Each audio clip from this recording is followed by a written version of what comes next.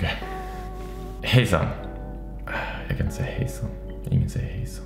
Hej! Jag heter Sebastian Axelsson, är 27 år gammal, bor i Stockholm och jag söker ett jobb.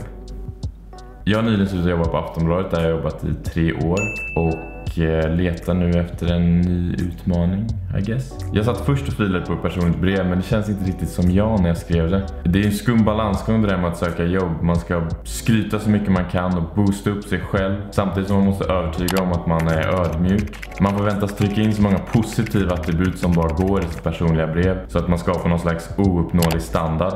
Och har man gjort rätt så framstår man som Gandhi eller en fredpristagare. Vilket också är absurt eftersom alla personliga brev ser likadana ut. Så jag vill göra något lite annorlunda. En liten film där jag berättar om vem jag är, vad jag har gjort, vad jag kan och eh, vad jag har att erbjuda er. Den kommer nog bli några minuter lång så om ni känner redan nu nja så har ni mitt fulla förtroende att stänga av den här. Annars tänkte jag dra lite snabbt om mina utbildningar och min granne håller på att renovera så jag tänkte nog att jag går ut en sväng. Okej. Okay. 2013 flyttade jag till Uppsala för att studera juridik och insåg ganska fort att det inte alls var min grej. Efter det studerade jag lite civilekonomi och marknadsföring i Uppsala innan jag flyttade till Stockholm och började på journalistprogrammet eh, på JMK.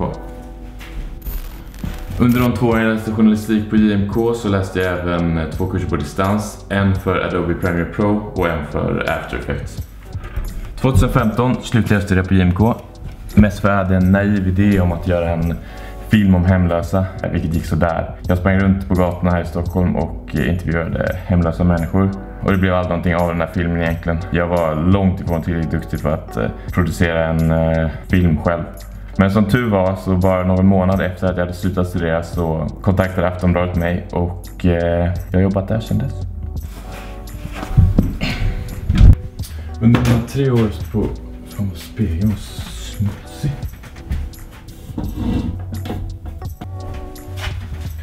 Under mina tre år på Aftonbladet så pluggade jag även filmvetenskap. Mest för att eh, jag var intresserad av det och eh, bli bättre inom film. Det gjorde jag i två år och eh, tog min examen i januari 2018.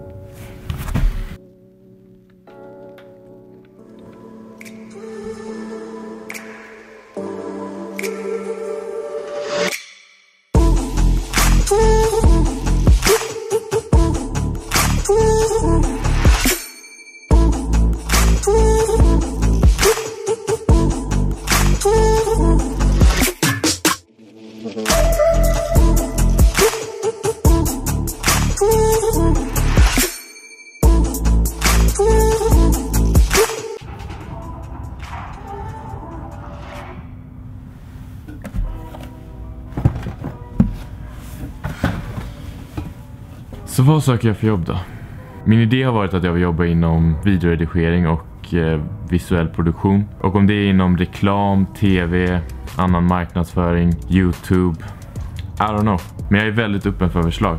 Syftet med den här videon är väl att ni på något eh, produktionsbolag ska se att jag har ambition och att jag arbetar hårt. Och att jag strävar efter att bli väldigt duktig på det jag tar mig an. Så om ni tror att jag hade varit en addition till eh, er verksamhet så får ni gärna titta vidare så ska jag berätta lite om vad jag gjort också.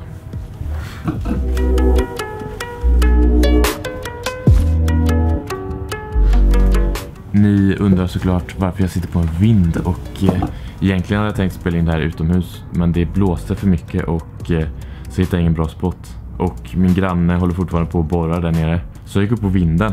Dålig idé tänker ni. Dåligt ljus, mycket oväsen, kallt. Japp, dålig idé.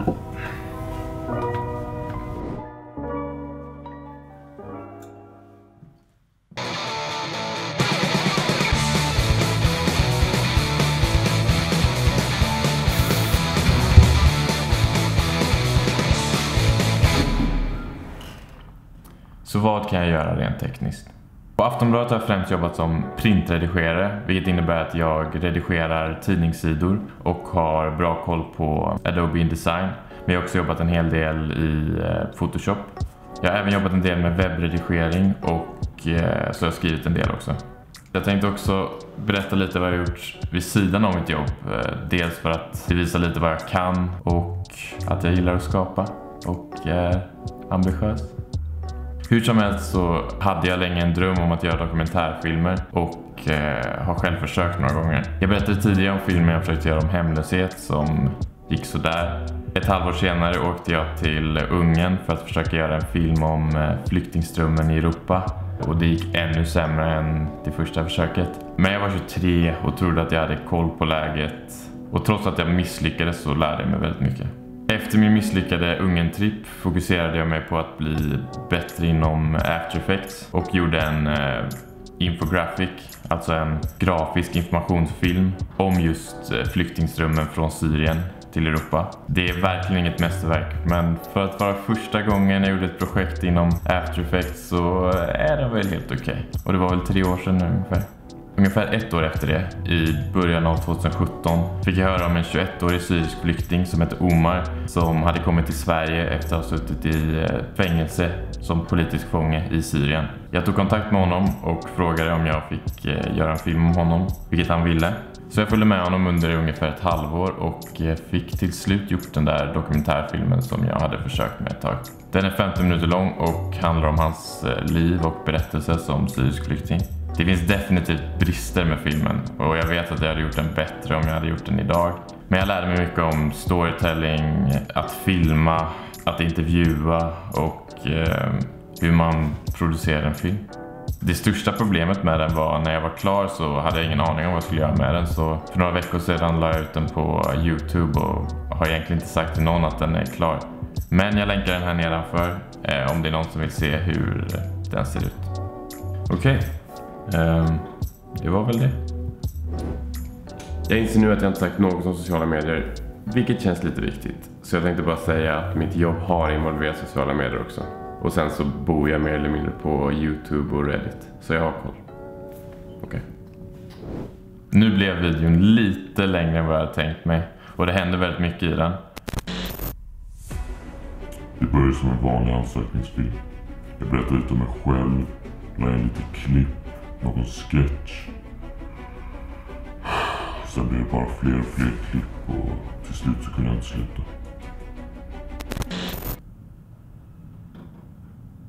Men jag ville som sagt visa vem jag är och lite av vad jag kan. Förhoppningsvis gav det här mer än det där personliga brevet som jag aldrig skrev klart. Och förhoppningsvis känner några av er som ser det här att eh, den där killen är inte så jävla dum. Och hör av er. Så kan vi prata. Okej? Okay. Tack för mig.